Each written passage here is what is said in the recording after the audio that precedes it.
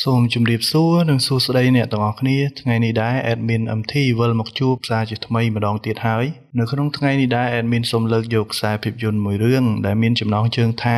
Black Water ជាខ្សែភាពយន្តបែបរន្ធត់មួយរឿងនេះផលិតឡើងដោយពឹងផ្អែកលើរឿងពិតដែលបានកើតឡើងនៅក្នុងថ្ងៃបុណ្យគ្រីស្មាស់ដែលមានពីរអ្នកប្តីប្រពន្ធនិងក្មួយស្រីម្នាក់បានធ្វើដំណើរទៅលេងតំបន់ស្ទូចត្រីមួយកន្លែងតែត្រូវជួបហេតុការណ៍ដែលនឹកស្មានមិនដល់គឺមានការវាយប្រហារពីសត្វក្រពើទៅលើពួកគេតោះចង់ដឹងថាពួកគេអាចគេចផុតពីក្រពើដ៏កំណាចមួយនោះបានឬអត់ទៅតាមដានស្ដាប់ការសង្ខេបរឿងជាមួយនឹង admin ទាំងអស់គ្នា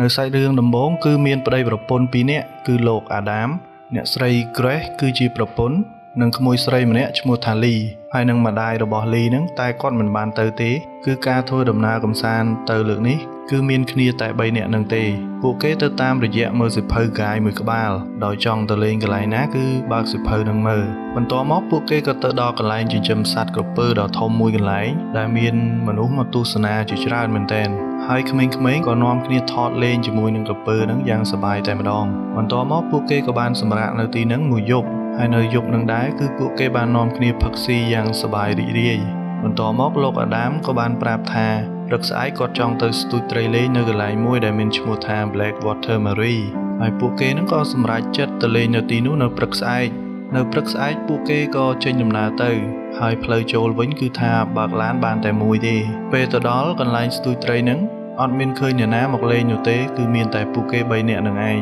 បន្ទាប់មកឃើញមានបរិសម្នាក់ឈ្មោះថាជីមដែលគាត់គឺជាម្ចាស់នៅទីហ្នឹងហើយពេលរៀបចំចេញទៅហ្នឹងគឺលីបានឃើញលោកជីមបានយកកំភ្លើងមួយដើមសៀតនៅនឹងចង្កេះរបស់គាត់តែនាងធ្វើមិនបានឃើញទេ ដោយនាងគិតថាប្រហែលជាគាត់ទុកការពារខ្លួនដោយធ្វើដំណើរតាមកូនរបរមួយគ្រឿងហើយទេសភាពវិញគឺមើលទៅដូចព្រៃកោងកាងនៅខេត្តកោះកុងខ្មែរយើងអញ្ចឹងពេលទៅដល់រៀងឆ្ងាយបន្តិចហើយ ពួកគេក៏រៀបចំធ្វើការស្ទូចត្រីតែម្ដងហើយពេលហ្នឹងលីនាងក៏សួរទៅលោកជីមហ្នឹងត្រង់ត្រង់តែម្ដងហេតុអីបានជាលោកយកកំភ្លើងមកជាមួយហើយគាត់ក៏ប្រាប់ថាប៉ុន្មានថ្ងៃមុនគឺមានសត្វក្រពើមួយក្បាលដែលគេចិញ្ចឹមហ្នឹងវារួចចូលទៅក្នុងទឹកទន្លេនេះ ហើយមិនទាន់ចាប់វាបានទេអញ្ចឹងគាត់ក្រែងលោមានបញ្ហាអីទើបគាត់យកកំភ្លើងមកតាមប៉ុន្តែក្រពើពួកហ្នឹងក៏មានក្រុមពួកគេត្រូវតាមបាញ់សម្លាប់ដែរតែសម្លាប់វាមិនទាន់បាន តែប្រហែលពេលនេះវាទៅតំបន់ផ្សេងហើយប្រហែលជាមិនអីទេពេលហ្នឹងនិយាយគ្នាមិនទាន់ចប់ផងស្រាប់តែមានអីមកបុកអបអពួកគេអាសន្នធំបដ ாய் ពួកគេក៏ចាប់ផ្ដើមបុកពោះបន្តិចដែរតែពេលលោកជីមយកប្រដាប់ដួសនឹងមកស្រង់មើល គឺឃើញកំប៉ុងមួយអណ្ដែតមកបុកនោះទេបន្ទាប់មកពួកគេក៏ធ្វើដំណើរបន្តទៅកន្លែងមួយទៀតពេលមកដល់ភ្លាមគឺសភាពទឹកនឹងល្អនិងស្ងាត់ជ្រងំលោកជីមក៏ប្រាប់ថាទីនេះគឺល្អហើយសម្រាប់ពួកយើងស្ទូចត្រីលេងពេលដែលនាំគ្នាស្ទូចត្រីបណ្ដើនិយាយគ្នាលេងបណ្ដើបន្តិចហ្នឹងលីនាងបានថតទៅកន្លែងមួយដូចជាមើលឃើញមានអីមានចលនានៅក្នុងទឹកហ្នឹង ភ្លាមនឹងស្រាប់តែមានអីមកបុកទូកនឹងបាសក្រឡាប់តែម្ដងធ្វើឲ្យពួកគេធ្លាក់ចូលទៅក្នុងទឹកហើយលោកអាដាមក៏បានប្រាប់ប្រពន្ធរបស់គាត់បញ្ញាប់ឡើងទៅលើដើមឈើហើយគាត់ក៏ខំស្រែកហៅរកអាលីក្មួយស្រីរបស់គាត់ដែរតែនាងកំពុងតែនៅជាប់ពីក្រោមទូកដោយជើងនឹងជាប់នឹងខ្សែកំពុងតែរើបំរាស់ចំណែកលោកជីមវិញគឺសន្លប់បាត់មិនដឹងថាត្រូវនឹងអីទេភ្លាមហ្នឹងអ្នកស្រី Grace គាត់ក៏បានឃើញសត្វក្រពើត្របាក់ខាំលោកជីមយកទៅ អ្នកស្រីក៏ស្រែកប្រាប់ឲ្យប្តីរបស់គាត់នឹងបញ្ញាប់ឡើងដើមឈើគឺមានសត្វក្រពើគ្រាន់តែឮបែបនឹងភ្លាមគាត់ក៏ស្ទុះឡើងទៅលើដើមឈើប៊ីសតែមិនទាន់ចំណែកអាលីវិញនាងបានស្ទុះចេញពីក្រោមទូកភ្លាមអ្នកស្រីក្រេះស្រែកប្រាប់ឲ្យនាងបញ្ញាប់ឡើងលើទូកនឹងវិញភ្លាមគឺមានសត្វក្រពើនាងខំព្យាយាមតោងឡើងដែរតែដោយសារតែគ្មានកន្លែងណាតោងហើយសត្វក្រពើមួយក្បាលហ្នឹងក៏ចាប់ផ្ដើមហែលមករកនាង នៅតែបន្តិចទៀតនាងនឹងក្លាយជាចំណីក្រពើហ្នឹងលោកអាដាមក៏គោះទឹកបញ្ឆោតវា តែវានៅតែធ្វើការវាប្រហារទៅលើក្មួយស្រីរបស់គាត់មួយសន្ទុះស្រាប់តែមានសភាពស្ងាត់គាត់ក៏សម្លឹងតាមរមើសត្វក្រពើមួយហ្នឹងលោកអាដាមក៏និយាយថាគាត់ត្រូវតែយកទុកនឹងដើម្បីក្រឡាប់វាមកវិញតែប្រពន្ធរបស់គាត់ប្រាប់ថាបងមិនអាចធ្វើបានទេព្រោះវាមានគ្រោះថ្នាក់ គឺត្រូវចាំតលតែមានអ្នកណាមកជួយពួកយើងលោកអាដាមនិយាយថាវាមិនអាចមានអ្នកណាមកជួយយើងទេ ពេលយើងចេញមកហ្នឹងគឺគ្មានអ្នកណាឃើញយើងនោះទេអ្នកស្រីក្រេះក៏ស្រែកឲ្យអាលីឈោងចាប់យកខ្សែនៅនឹងមុខនាងដើម្បីឲ្យលោកអាដាមទាញទូកហ្នឹងពេលលោកដៃរាវចាប់យកខ្សែហ្នឹងអេដមីនស្រីវជំនួសបន្ទាប់ពីនាងចាប់ខ្សែនឹងបាននាងក៏បានបោះវាទៅឲ្យលោកអាដាមតែបោះអត់ដល់លោកអាដាមក៏ប្រាប់ថាឲ្យសាកបោះម្ដងទៀតបន្ទាប់មកគាត់ក៏យកមេឈើមកឆ្កឹះយកខ្សែនឹង ហហើយពេលឆ្កឹះបានហើយគាត់ក៏ព្យាយាមទាញទូកនឹងតែទាញយ៉ាងណាក៏នៅតែទាញមិនរួចដោយមិនដឹងថាវាជាប់ស្អីគេទេបានទាញមិនចេញគាត់ក៏យកខ្សែនឹងមកចងជាប់នឹងដើមឈើដើម្បីឲ្យក្មួយស្រីរបស់គាត់ដើរមកថ្នមថ្នមបន្ទាប់មកអាលីក៏ចុះទៅក្នុងទឹកដំបងមិនឃើញមានអីនោះទេបន្តិចនឹងស្រាប់តែឃើញទឹករលកមកភ្លាម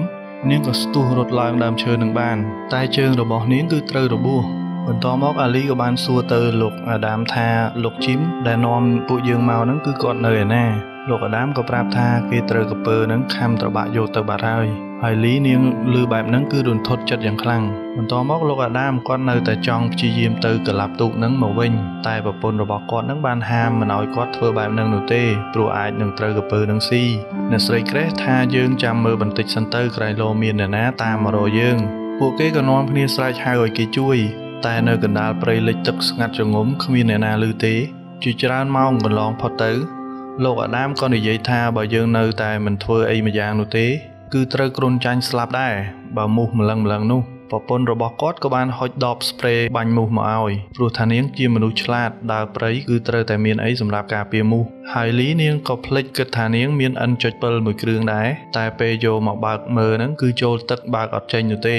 មួយសន្ទុះក្រោយមកអ្នកស្រីក្រេះក៏និយាយថាទុកឲ្យខ្ញុំជាអ្នកចេញទៅរកជំនួយលោកអាដាមក៏និយាយថាអូនមិនអាចទៅបានទេទុកឲ្យបងទៅវិញតែដោយសារតែគាត់នឹងអត់ពាក់វ៉ែនតាគឺភ្នែករបស់គាត់ស្រវាំងឬក៏អាចថាមញោបមើលមិនសូវច្បាស់អាលីក៏សុំទៅជំនួសវិញតែដោយសារតែនាងត្រូវរបួសជើងគឺមិនអាចទេចុងក្រោយអ្នកស្រីក្រេះក៏សម្រេចចិត្តថានាងជាអ្នកទៅវិញអ្នកស្រីក្រេះក៏ដើររសៀតាមមេឈើនឹងហើយពេលទៅដល់មុខបន្តិចស្រាប់តែឃើញមានពពុះទឹកចេញមក នាងក៏យកមេឈើនឹងមកឆ្កឹះមើលស្រាប់តែលេចចេញស្លឹកត្រចៀកដាច់អណ្ដែតធ្វើឲ្យនាងចង់ក្អួតមួយរំពេច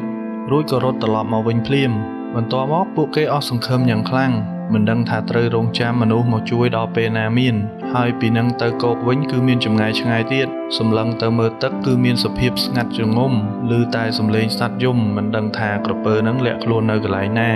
ពួកគេក៏នាំគ្នាដេកលងលក់អស់មួយសបកធំ បន្ទាប់មកលោកអាដាមទ្រាំមិនបានគាត់ក៏បញ្យល់ទៅប្រពន្ធរបស់គាត់និងក្មួយស្រីថាកាលគាត់នៅពីក្មេងគាត់ក៏ធ្លាប់ចាញ់បោកបងប្រុសរបស់គាត់ដែរដោយឲ្យគាត់សងំនៅក្នុងផ្ទះដោយបងប្រុសរបស់គាត់នឹងលួចចេញទៅក្រៅជួបជាមួយនឹងពួកម៉ាក់គាត់ក៏ត្រូវរងចាំបងប្រុសដាច់បាយដាច់ទឹកដោយសភាពពេលនេះអញ្ចឹងបើសិនជាយើងមិនដឹងថាក្រពើនោះវាសងំនៅកន្លែងណាផងតើយើងនៅចាំមើលក្រពើនោះបង្ហាញខ្លួនដល់ពេលណា ភ្លាមនឹងប្រពន្ធរបស់គាត់ក៏និយាយថាយល់ព្រមដោយឲ្យលោកអាដាមនឹងធ្វើតាមផែនការរបស់គាត់លោកអាដាមក៏បំរុងចុះទៅនឹងប្រពន្ធរបស់គាត់មានអារម្មណ៍ថាខ្លាចគាត់មានបញ្ហាអីមែនទែន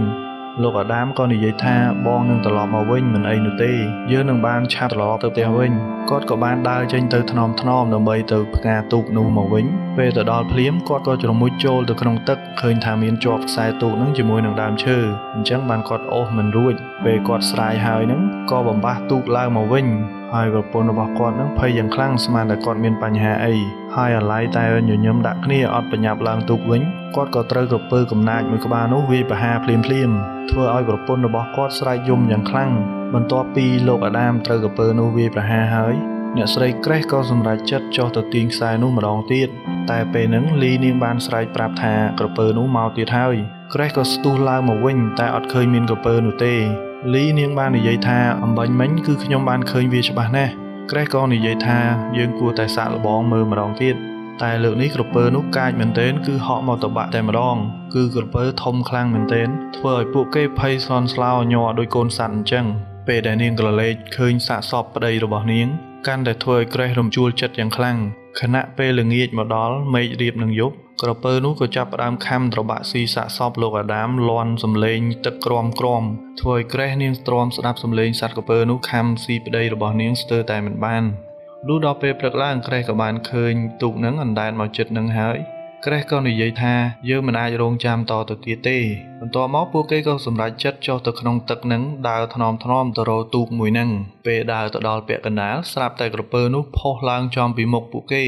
ធ្វើឲ្យពួកគេនឹងស្រឡាំងកាំងភ័យញ័រខ្លួនទៅត្រឹកមិនដឹងថាធ្វើយ៉ាងម៉េចភ្លាមនឹងវាក៏លឹបចូលទៅក្នុងទឹកវិញពួកគេក៏នាំគ្នារត់ចេញមកវិញភ្លាមភ្លាម តែក្រេះក៏ត្រូវក្រពើមួយក្បាលនឹងខំចាប់អូសចូលទៅក្នុងទឹកភ្លាមភ្លាមលីនាងបានត្រឹមតែស្រែកយំដោយមិនដឹងថាជួយយ៉ាងម៉េចភ្លាមនឹងក្រេះមិនទាន់ស្លាប់ទេនាងក៏ស្រែកហៅឲ្យក្មួយស្រីជួយពេលមកដល់លើដើមឈើវិញជើងរបស់ក្រេះគឺត្រូវរបួសខ្លាំងមែនទែនធ្វើឲ្យនាងឈឺចាប់យ៉ាងខ្លាំងបន្ទាប់មកលីនាងក៏ហែកជាយអាវរបស់នាងយកមកចងដើម្បីខាត់ឈាមដែលហូរសិននៅខណៈពេលហ្នឹងក៏មានសំឡេងទូកចេញមកតាមរកពួកគេ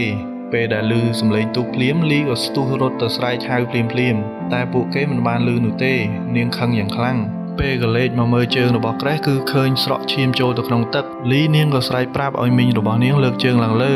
តែក្រេះនាងលើកមិនរួចនោះទេដោយសារតែស្ពឹកពេញខ្លួនអស់ហើយបន្ទាប់មកលីនាងក៏ប្រាប់ថានាងត្រូវតែទៅយកទូកនឹងឲ្យបានបើមិនចឹងទេយើងនឹងស្លាប់នៅទីនេះទាំងអស់គ្នាក្រេះក៏យកមកវល់ក្មួយស្រីក៏មកឲ្យទៅព្រោះនាងខ្លាចដូចលោកអាដាមដែរ បន្ទាប់មកលីនាងក៏សមាធិបន្តិចរួចក៏ឈានជើងចុះទៅក្នុងទឹកម្ដងទៀតរួចនាងក៏ហែលទៅរកទូកនឹងថ្នមថ្នមហើយកន្លែងហ្នឹងអេដមីនស្រីវមែនតែនតែសំណាងល្អនាងអាចឡើងទៅលើទូកនឹងបានរួចក៏បញ្ញាប់ធ្វើការបញ្ឆេះម៉ាស៊ីនទូកតែភ្លាមហ្នឹងនាងក៏ឮសំឡេងដូចជាវាកំពុងតែមករំពេចនឹងស្រាប់តែកពើនោះហក់មកតបាក់ដល់លើទូកទៀតនាងភ័យយ៉ាងខ្លាំងក៏ស្ទុះហក់ចូលទៅក្នុងទឹកវិញ ហើយខំប្រឹងរត់ទៅលើដើមឈើតែនៅតែត្រូវកពើនោះខំអូសនាងបានដដែលមួយសន្ទុះក្រោយមក នាងក៏បានដេកសន្លប់នៅលើទួលមួយ គឺក្រពើនឹងវាខំស៊ីអស់ពីរនាក់ទៅហើយអញ្ចឹងប្រហែលជាវាឆ្អែតទើបវាមិនទាន់ខំស៊ីនាងគ្រាន់តែអូសយកមកຕົកពេលណាដែលវាឃ្លានពេលភ្ញាក់ដឹងខ្លួនភ្លាមឃើញខ្លួនឯងនៅចិត្តនឹងសាកសពលោកជីមដែលនាំពួកគេមកហើយបើកអាវមើលពោះខ្លួនឯងគឺត្រូវរបួសជាច្រើនកន្លែង នាងក៏កលេចឃើញកំភ្លើងសៀតនៅនឹងចង្កេះលោកជីមហើយក៏បានយកកំភ្លើងនឹងមកបន្ទាប់មកនាងបានយកដៃសាកសពលោកជីមនឹងទៅវីនឹងទឹកដើម្បីបញ្ឆោតកពើនឹងឲ្យចេញមកតែពេលសម្លឹងរកមើលកពើនឹងគឺមិនឃើញនោះទេ តែខណៈពេលដែលកំពុងតែសម្លឹងរកមើលកពើនឹងស្រាប់តែវាលេចចេញមកពីក្រោយវិញ នាងប្រឹងកេះកាយកំភ្លើងតែបាញ់អត់ចេញ នាងភ័យមែនទែនក៏ស្ទុះរត់ចូលទៅក្នុងទឹកវិញហើយសត្វកពើនឹងក៏ដេញតាមខាំនាងទៀត បន្ទាប់មកលីនាងខំកេះកាយកំភ្លើងយ៉ាងណាក៏នៅតែបាញ់មិនចេញ